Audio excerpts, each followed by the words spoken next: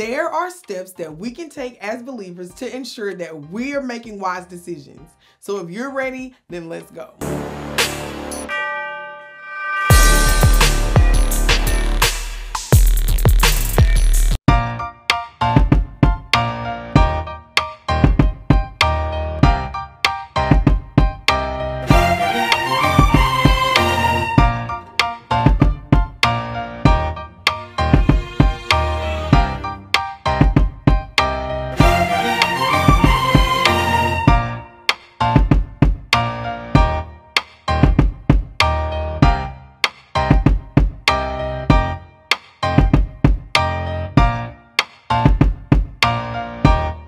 Good morning. Good morning, and welcome back to Morning Meds, where we meditate on God's Word in order to tackle everyday issues that we face as Christians. And if you like Morning Meds, be sure to like, share, and subscribe so that we can make it through this together with the help of God. Heavenly Father, we thank you so much for your word. We thank you for everything that you've done. You are so great and gracious, Lord God. We thank you. We ask you, Lord, to forgive us for the wrong that we've done, said, and thought, and bless every household represented. Allow us to understand and perceive your word the way that you see fit. In Jesus' name we pray.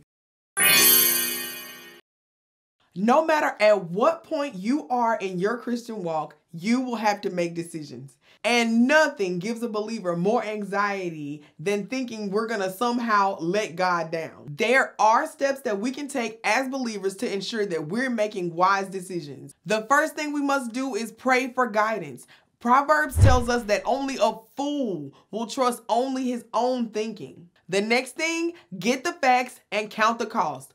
Faith does not override falsities. Get all the information before you act. Taking a leap of faith should always be based on God's doing and not our own doing. We find in Luke where it says, Who builds something and doesn't count the cost of it before they build it?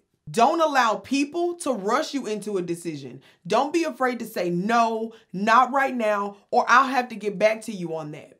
The next thing is ask for advice. Proverbs also says to listen to advice and accept instruction so that you'll be helped in the future. Once you've carried out those first three, it's time to faith your fears. Fear is a natural response to the unknown. Fear is a spirit and it is not God given.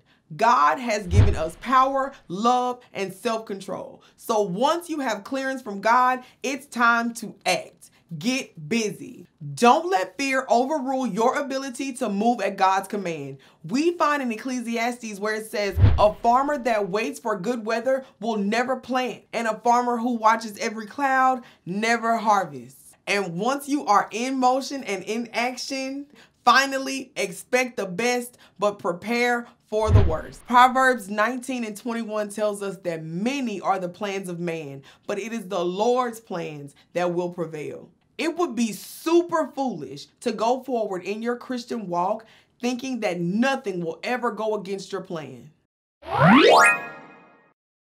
These five steps could help you make wiser decisions in your walk with Christ. Don't neglect the power in the Word of God to keep us from foolish living. Trust God's plan for your life and take God's leap of faith, knowing that everything, even the bad things, are working for your good.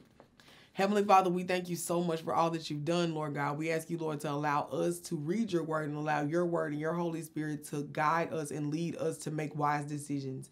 We love you, God. We want to count the cost. We want to get the facts. We want to take action based on your will for our lives and your purpose for our lives. We love you, God. Bless every household represented that is watching. In Jesus' name we pray. Amen.